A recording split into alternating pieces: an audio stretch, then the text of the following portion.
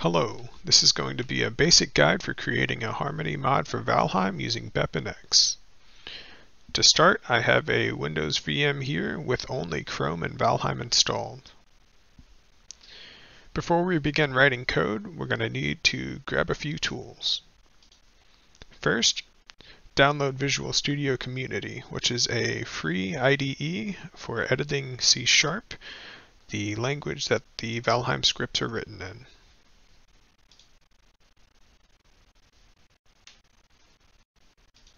After downloading, you should see this window pop up. You only need .NET Desktop Development, so click that and then hit Install. Once that is finished, you should see this screen. Skip creating an account, select whatever theme you like, and start Visual Studio. After that, you actually want to close this for now along with the installer and we're going to grab the next tool which is ILSpy. This will allow you to see the Valheim source code so that you know uh, what values you need to edit. Download this. Uh, it's actually a plugin for Visual Studio, so you'll run the file and install it directly into your Visual Studio Community install.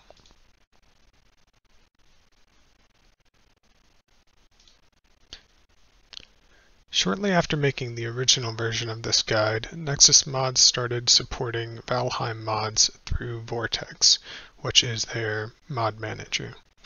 I would highly recommend using Vortex instead of the BepInEx pack download, so I will walk through that method now and leave the other method after this just in case you still want to do it that way. So to get Vortex, come to the site and download.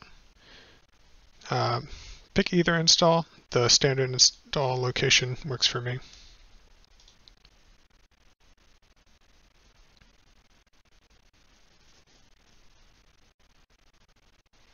After the download finishes, install Vortex.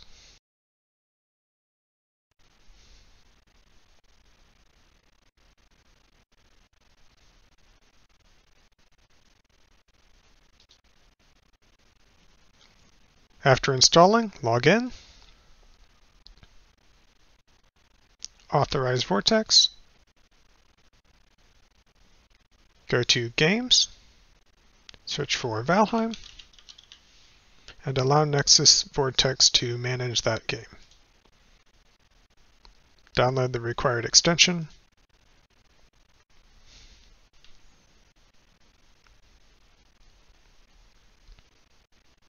set the folder.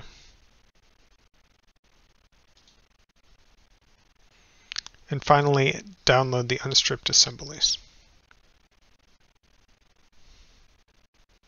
You can use the Vortex link for this.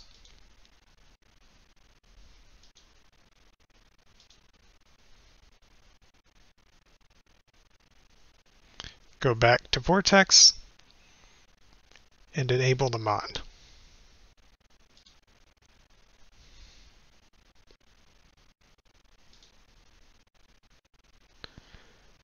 After doing so, you can go to the game directory.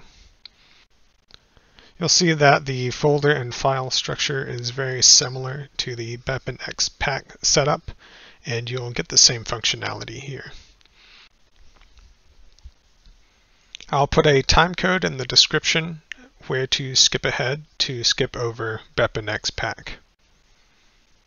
The final tool you'll need is BepInEx which has already been put together for Valheim. You'll come to this page and download this. Then open the file location, unzip it,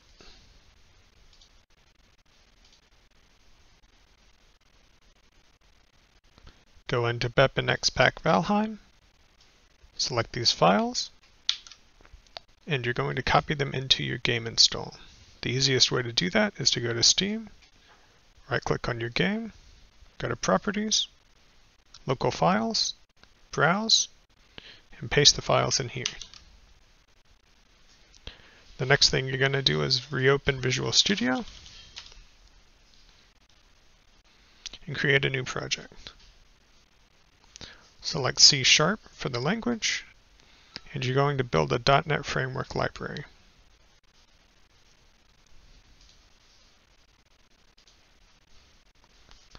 Name it Valheim Mod, and pick any framework that starts with a 4.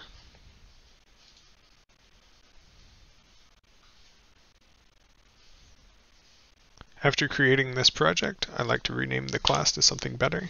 So we'll highlight this and call it Valheim mod. Then we'll also rename the class here.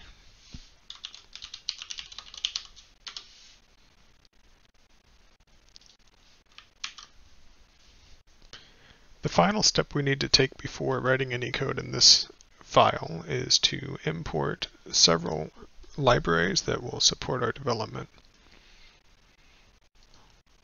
Right click on your project, open it in Explorer, then create a new folder in this directory called libs.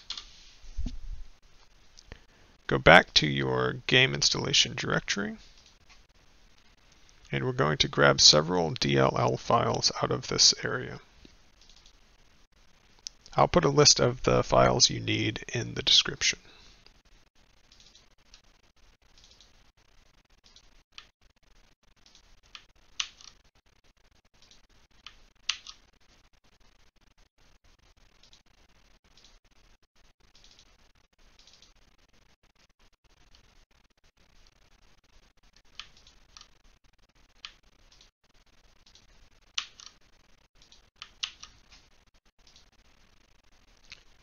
After putting all these files in the libs directory, return to Visual Studio, right-click on References, and hit Add Reference. Browse, then return to the libs directory you created earlier, or copy the path and paste it in here. Highlight all of these files, then add them to the project, and hit OK. To make this a bit easier, I'm going to paste the completed code in here and then explain step by step. First, we import the references we need directly using these statements at the top of the file. In order, this allows you to use BepInEx, Harmony, and then the base Unity engine. Next, we want to add these annotations to the main class, which initialize BepInEx. You'll see here that you assign a unique ID, a name, and a version to your mod. This next statement simply tells BepInEx that it will execute on the Valheim exe. You also need to make sure that your class extends the base Unity plugin to function correctly. Next, I like to set up Harmony here. This allows for use of certain debugging tools in the future, including Script Engine, which is a live reload debugging tool for Valheim. You don't have to do it this way, but this is simply my preference. To make Harmony actually apply all of your patches, you need to place this statement inside the awake function, which just means that as soon as the game loads, Harmony will apply any methods you put below in this area. Finally, you want to write an actual Harmony patch. This is a prefix patch, which means your code will execute before the original code. In this instance, we are patching the character object and the jump method, meaning each time you jump, this code will execute before you jump. To find the values you need to use for this code, you will use ILSpy, which we installed earlier. To do that, return to your references, right-click on Assembly Valheim and open it in ILSpy. You'll see here that all of the code for Valheim is loaded. To look for what we want, we open the character object, and we find the jump method.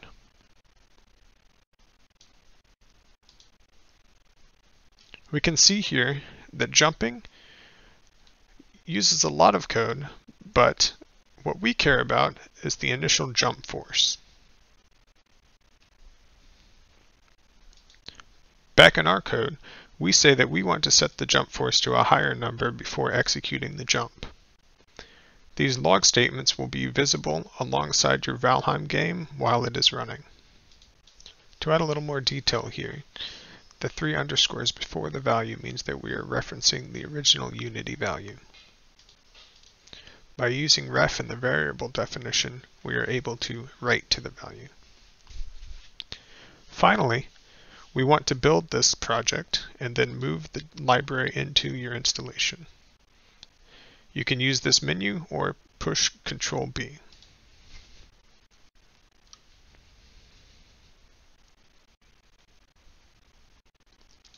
Return to your project directory by right-clicking on your project and opening it in Explorer. Then go to bin, debug, and copy the Valheim mod DLL. Go back to your game directory. Go to BepInEx, plugins, and paste your code in here. Next time the game runs, your mod should load. Next time you launch the game, you should be able to Alt-Tab out and find a debug console window. Inside this window, you can scroll up and see that your mod loaded.